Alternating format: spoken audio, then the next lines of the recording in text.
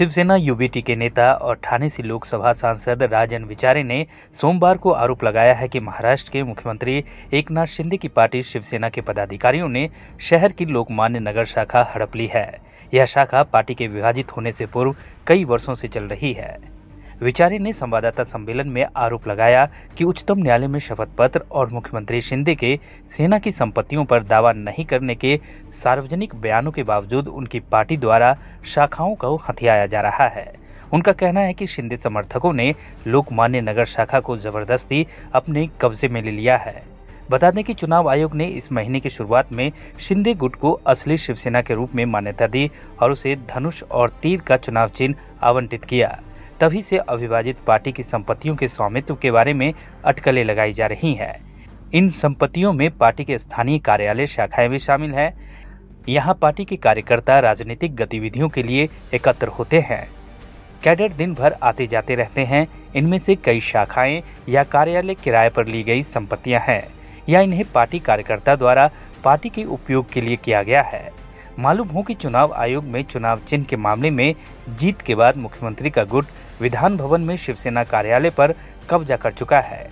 लेकिन पार्टी का कहना है कि पार्टी उद्धव ठाकरे गुट के फंड और अन्य संपत्तियों पर दावा नहीं करेगी। पार्टी दोनों गुटों के कार्यकर्ताओं के बीच वैमनस्य बढ़ाने से बचना चाहती है। आणि आज तुम्ही असेल, सर्व इलेक्शन कमिशनरने जो काय निर्णय, चुकीचा निर्णय दिला संदर्भामध्ये कोर्टामध्ये आपण अपील केलेलं आहे. प्रकरण न्यायप्रविष्ट आहे.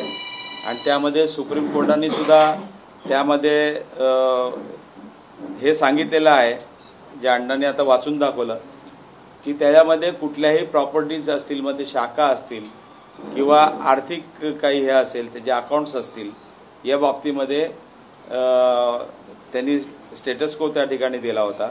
आणि ते करत असताना त्यांनी सुद्धा सांगितलं की आम्ही ह्याच्यावरती दावा देणार नाही. आणि मला वाटतं हे सर्व प्रिंट मीडिया इलेक्ट्रॉनिक्स मीडियांनी सुद्धा त्या ठिकाणी नमूद केलेलं आज सुद्धा त्या ठिकाणी कोणत्या मंत्र्यांनी सुद्धा त्या ठिकाणी दा हे केलं होतं की आम्ही कुठलाही दावा करणार नाही म्हणून. मला वाटतं मुख्यमंत्री महोदयांचा पण त्या ठिकाणी स्टेटमेंट आहे की आम्हाला कुठल्याही प्रॉपर्टीचा मोह नाही हे नाही ते नाही. अरे तुम्ही बाप चोरले. तुम्ही आज बघितले शाखा तुम्ही आहेत. अरे तुमच्या कर्तृत्वावर तुम्ही करा ना. तुम्हाला कुणी रोखले आज तुम्ही एवढे मोठे धनदानगे झालेले आहेत. अरे या शाखा प्रमुखांच्या घामावरती त्यांच्या रक्ताने त्या शाखा बनलेल्या आहेत. पन्नास पन्नास वर्षाचा इतिहास तुम्ही पोस पुसाल निघालेले आहेत. आज सत्तावन्न वर्षाची आज शिवसेनेची संघटना तुम्ही संपवायला निघालेल्या आहेत. हे काय चालवले काय तुम्ही?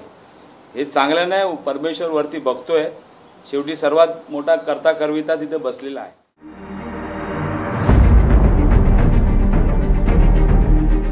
माझी मुंबई, माझं घर किंग्स माय होम सायन्स सोनाबट्टी इथे सुरू आहे. सर्वसामान्यांच्या खिशाला परवडणारी घरे आजच बुक करा. आज नाही तर कधीच नाही. एकेचाळीस लाखांपासून चौसष्ट लाखांपर्यंत सर्व करा सहित सीईएन न्यूज़ देश प्रदेश की ताज़ा तरीन खबरों के लिए सीईएन न्यूज़ को सब्सक्राइब करें और रहें पल पल की खबर से हर पल बाखबर।